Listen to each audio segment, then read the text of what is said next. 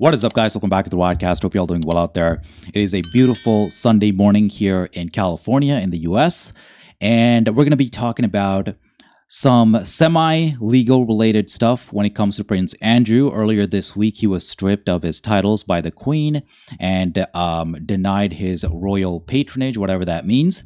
Um, and I don't usually talk about stuff like this because this is more like royal news and gossip, and I don't really I don't care about that at all and I don't cover it, but I am covering the Virginia Roberts versus Prince Andrew case and some of the royal happenings and shenanigans might actually become legally relevant soon and and it could be relevant right now because if Prince Andrew is losing his uh, financial backing from the Queen, which he did have. The Queen, basically, according to the royal experts that I've heard, last year when Virginia Roberts sued him first, um, the Queen was not happy about it, but she was basically backing Prince Andrew. Okay, I talked about this in another video. There's been articles written on it, and most of the royal experts agreed back then. Eh, she just lost her husband, so she's probably less likely to be cruel towards Andrew. So I, I would say, in my opinion, from what I, and my opinion doesn't mean much because I'm not a royal expert, but according to what I've heard and read, it seems like she's siding and bowing down to the pressure she's getting from people in you know, in upper echelons of uh, British power who are telling her this guy's bad news. And uh, the place that I go to to watch stuff regarding this case when it comes to the royal experts is uh, News Nation, which is a small channel on YouTube. Well, it's not really small; they're decent. Um, Ashley Banfield works for this uh, works for this network, and they have a lot of royal experts on to talk about British stuff. So this is the channel I go to. They have a rational, usually you know, sensible take on things. So I I don't I I'm not somebody who knows, I grew up in Britain and knows the culture. So it's very hard to understand what the baseline should be and what the baseline truth about the Royals is. Because like you had to be saturated and grow up in a culture to really understand all the all the players in it. Like American culture, I know going back at least 30, 40 years, I understand American po- culture very well. From the Reagans onward to the Bushes and the Obamas and the Clintons, I understand the political actors in America and because I pay attention to it and I'm saturated in it. In Britain, I have no idea who the power structures. I basically know the Tories and the uh, Labor Party, and um, Jamie Corbyn is a person I know, and Boris Johnson. Other than that, I don't understand all the players, so it's hard for me to have an educated, rational opinion on things when it comes to Britain, which is why I don't talk about it. I get a lot of requests in the comment section and by some of my patrons who want me to talk about British politics and uh, British uh, British legal issues and and British characters in the royal family. I can't talk about it because I don't know enough, and I don't talk about things that I don't know about. I talk about American law because that's what I know. I talk about America. I used to talk about American politics because I was in American politics. So I don't like to talk about things that I don't have an expertise in. And when I don't know something, I explicitly say I don't know much about it, and that's why I'm saying this right now. Okay, but nevertheless, there are some royal experts that make sense. Their predictions come true true and that's how you know in science that you're right when your predictions come true that's how you know you know something although there's always some uncertainty because you, nobody knows what the royals are really going to do and everybody's just operating from what they heard from who they think are credible sources but this channel is not that bad. That's all I'm saying, okay? So I want you guys to listen to this. This was made on January 4th, 2022. So this, you know, a week or so before he was actually stripped. And the royal expert here talked about it. So I want you guys, you guys to listen to this, and maybe if you want to know some stuff about some rational information about what's going on with the with the royal family, this might be a channel you want to check out. For the people who are telling me to uh, make videos about it, this is my recommendation and a place for you guys to go. But let's listen to this real fast, then we'll talk more about it. The effects on Prince Andrew will reach far beyond the U.S. courtroom, uh, of course, across the pond. Royal commentator Hillary Fordwich joining us now to talk about the impact this case is having in many British quarters. Hillary, good morning to you. Pleasure to be with you, Adrian. Well, it's he's not facing any criminal charges. This is only civil. But in is there any difference that that makes, especially in terms of how the public views him? I don't think so. The damage has already been done in the court of public opinion. I think one of the issues, of course, is with regard to the military titles. Um, they have been in abeyance. He actually holds nine honorary military titles, and all of those have been in abeyance since this is all broken. The top military brass actually has said that this is a toxic environment for him to be in.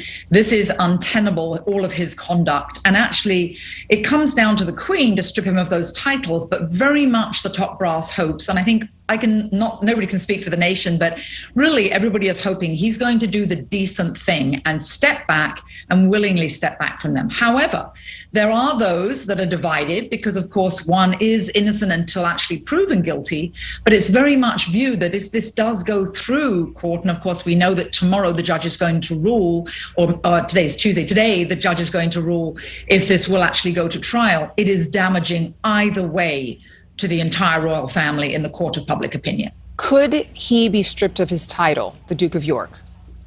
Well, he could be. The last time there's actually something called the Deprivation Act, the Deprivation of Titles Act, and that um, was in effect many years ago. In 1917 was the last time that it was used because four German nationals, of course, were removed of their peerages in the House of Lords um, House due, to the, due, to the, um, First World War.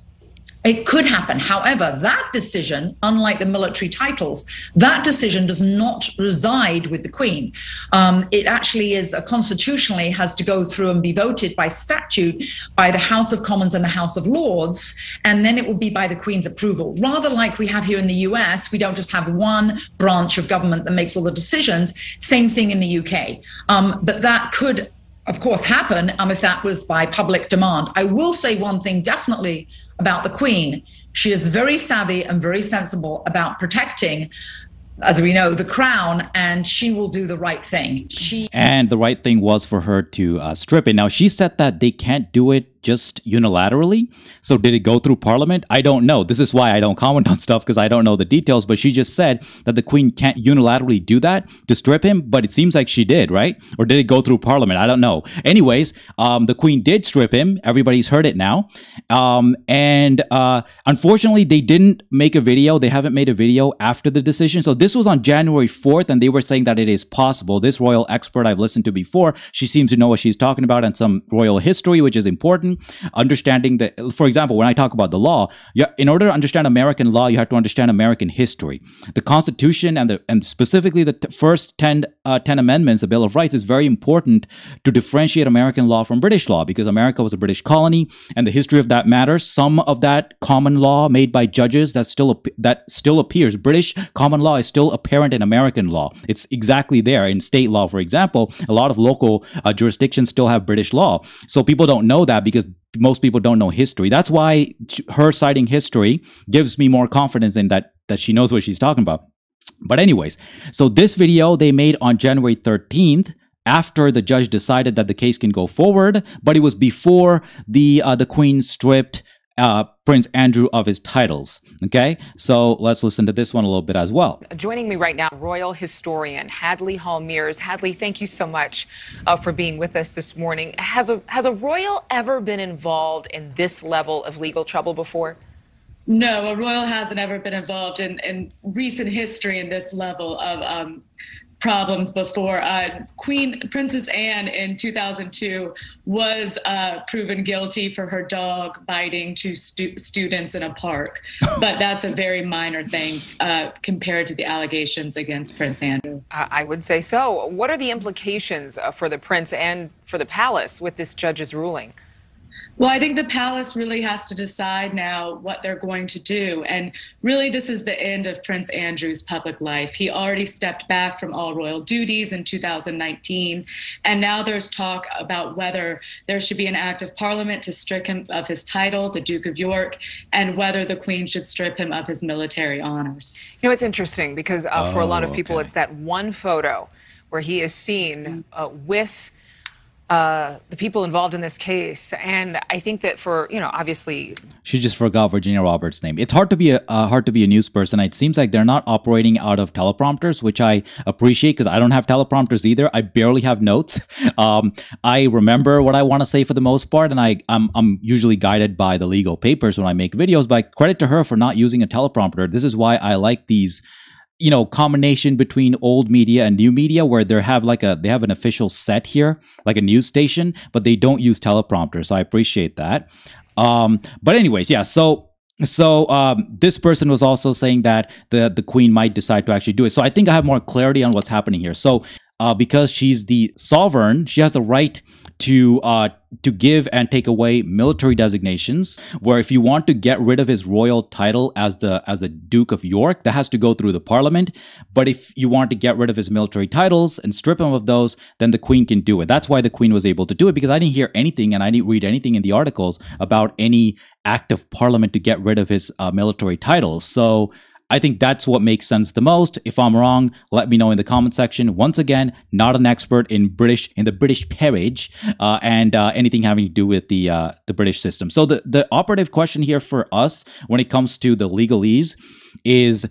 Is Prince Andrew still being backed by the Queen in some way when it comes to finances? Because as of 2021, she was willing to support him. Okay. So it's according to the research that I've done from the sources that I've seen from England, they say that he's not getting any direct money from the Queen okay or the, from the public. He is getting money he's getting a stipend i believe from the queen. That might actually come from the public but then they claim that whatever money the queen might be giving to her son is from private sources it's not from the public coffers.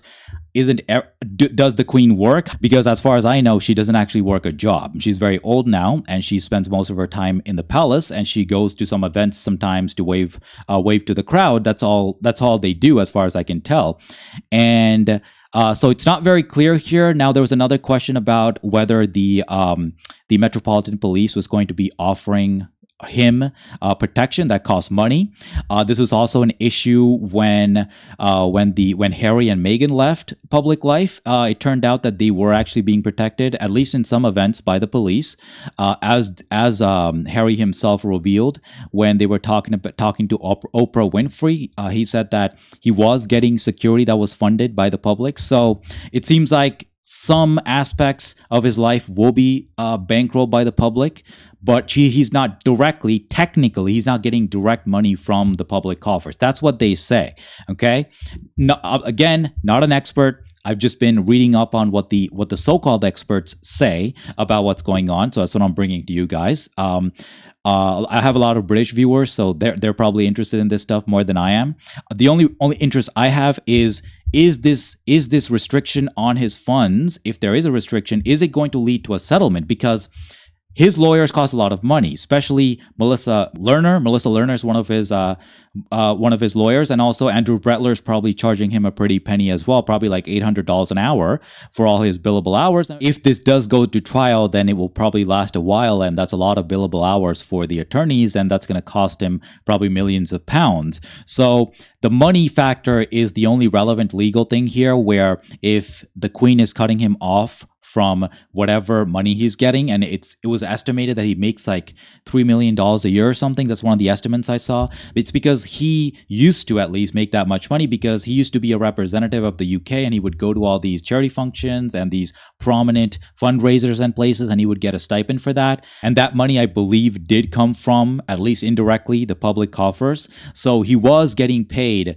because he was a royal. Okay, that's how he was making money. Plus, he goes to all these other events, uh, charities, and fundraisers and stuff that gives him fees. So this is how the royals make money by cashing in on their titles, on their position. It's all about position. The lofty positions that they uh, occupy uh, provides them with a way to get uh, get speaking engagements, other things. Like Hillary Clinton gets got like six hundred thousand dollars just to speak to um, to Wall Street, and one of the Wall Street banks, Goldman Sachs. It's not because she's a brilliant economist. It's because her title and position allows her to cash in. That's what, that's what people do after they serve in public office. I'm I'm not happy about that because I believe in public service for the sake of public service, not so you can cash in later. But that's a, that's unfortunately what people do. Republicans, Democrats, whatever, all prominent people do this. George W. Bush also did it, and Obama's doing it. So everybody's doing it. Um, but nevertheless, that's how things work. Unfortunately I'm not happy about a lot of things, how a lot of things worked in uh, in politics in America and also in Britain. But that's how uh, the royals and other people with prominent titles make money. It's not like Prince Andrew's out there working in a Taco Bell or uh, or some doing some you know real hard work, being a garbage man, producing actual goods for society, um, doing some something with your hands to build something or to help uh, keep society clean. Garbage men are, should be respected; they should not be derided, and working class people in general should be respected. Although the royals don't think that, they look down on working class people, but they live off the uh, dollar of the working class people in Britain. They have always done that. And that's why I'm fundamentally opposed to the royals, uh, aside from all the divine right of kings nonsense where they think they're above the regular person. That's why I love the idea of America, where everybody's supposed uh, to be equal and nobody is, you know, given the right by God to rule, which is what the divine right of kings is. Remember that. They literally think they're they're genetically superior to you because they're part of the royal bloodline. That's that's the concept. But behind the the royal families in Europe, not just England, but also in France, they killed their royals. Good for them. And uh, many other countries, Belgium, Germany, they all had their royals. All those systems have changed now. Most of those pe- uh, places don't have royals anymore. Britain still does, although the royals don't rule like they used to. That's why they have the prime minister and the parliament. So I don't know if this is true or not, but according to some experts, he doesn't actually have money in the bank to show show, like millionaires and billionaires. Mostly his money is tied up in properties, in real estate, and also uh, he gets stipends uh, for the royal services that he provides. That's how he's made his money. That's how he pays for his lodges, royal lodges, and, and houses that he owns. Um, if I'm not mistaken, all the princes probably have their own um, palaces because I know that Princess Diana had the Kensington Kensington Palace. If I'm not mistaken, that's where she lived. Um, so Prince Andrew probably does have his own uh, palace, or maybe he lives with his mom. I don't know. He does spend some time. He was hiding out um, uh, with uh, Elizabeth when the initial uh, legal papers were filed by Virginia Roberts and the summonses went to England, he was hiding with his mom to avoid being served papers. So who knows where he lives? I like I said, I don't keep up with this stuff. I'm just telling you guys what the experts are saying here. And uh, there was a lot of pressure, like the video said. There was a lot of lot of pressure from the top higher up people in the uh, military establishment um, to strip him of his titles because all of this business with Virginia Roberts is really bad for him. So, so that's what's happening right now. It's not very clear how he's going to fund his legal defense. Um, we just covered how his lawyers are asking for um, the courts in Australia to depose uh, Virginia Roberts' husband, Robert Giuffre, and uh, uh, and her psychologist, which pr- it's probably not going to happen. The court is not going to allow for a doctor to break privilege without Virginia Roberts' permission. So the psychologist is probably not going to be able to be deposed uh, or asked any kind of you know. Um, personal questions regarding her sessions because that's protected by the testimonial privileges uh, according to American law. And so that's where we stand right now. It from everything I've read and everything I've watched on this, nobody is clearly able to give an answer about whether the Queen is still funding him directly. The Queen says that whatever money she might be giving to him is from her private fund. It's not coming from the public because people in Britain are not happy about happy about what Prince Andrew has been accused of. Uh, he has not been proven guilty, like the video said. That's true, but nevertheless, just the existence of that picture with him with his hands around Virginia Roberts and uh, Ghislaine Maxwell, who's uh, convicted now, uh, in the background is not good for him. That has not been good for him for a while. But like I always say, pictures like that don't necessarily mean any guilt. Even having a picture with Jeffrey Epstein doesn't mean you did anything wrong. Lots of people took pictures with uh, these society people. So I believe in individual pieces of lines of evidence proving somebody's guilt. So just because somebody took a picture with somebody else who's been found guilty doesn't mean they were doing a crime. It doesn't look good, but legally speaking, that means absolutely nothing. Unless you have pictures of that person committing a crime or you have video, it's not evidence. Okay. So I don't like this whole guilt by association nonsense that the conspiracy theorists do, which is, ooh, you took a picture with Jeffrey Epstein one time, so you must be molesting kids too. That's not how it works. So the question of whether he's going to reach a settlement with Virginia Roberts is going to depend on how much money he has to spend, because if he can't pay his lawyers, then he can't have a legal legal defense, and that means he's going to be trying to get a settlement with them. So we will either hear about settlement talks or we we won't. If we don't hear about them, that means that he's pursuing this case and he aims to take it all the way. Uh, or if we hear about settlement talks, that means he's running out of money and he wants to get this lawsuit over with, right? So he's going to try to pay Virginia Roberts off, which did work with uh, Jeffrey Epstein, and there could be many reasons why people settle. Like I said, most regular people settle because they can't pay their own fees. So who knows why Virginia Roberts' side settled back in the day? She only got $500,000 back then. I thought she got millions, but she didn't. The number one conclusion people jump to is that, oh, she was only after the money. well, what else? What else are you going to do with a civil lawsuit? Do you understand civil law? Do you understand what it's all about? It's different from criminal law. Civil law is all about getting money, monetary compensation for emotional damages or battery or whatever, right? Virginia Roberts is suing for intentional infliction of emotional harm and also battery. Okay, those are the two charges that she's uh, she's uh, uh, has against uh, Prince Andrew. That's why she's suing him. Uh, but civil lawsuits are all about money. So in the end, if she wins, she gets money, and if she settles, she gets money. So no matter what, you're trying to get money for your damages. That's what civil suits are about, and also send a message to other people who might be abusers to not do it in the future. To know that we're going to come after you if you uh, hurt people. So there's a monetary reason to not do these things, and just you know the destruction of reputation is also also another thing that should be a deterrence to other people who are going to abuse uh, girls in the future. So always remember that there's a lot of moving parts to these stories, and you have to look at each individual thing and judge them based on the evidence and not jump to any hasty conclusions. That's what I would ask for everybody watching the video. And uh, that's about all I got to say for this video. Thank you so much for watching. As always, make sure to like the video, subscribe, hit the bell, and press all for future videos. And if you want to support my work, you can do so on Patreon. There'll be a link in the description box down below. Your support is much appreciated. And one of the reasons I did this video is because one of my patrons asked me to do it. So I do respond directly to my patrons, especially the $5 plus patrons who ask me to cover topics because I appreciate your support and I want to give back to people who support this show. All right. So with that being said, I'll see you guys all in my next video. As always, peace.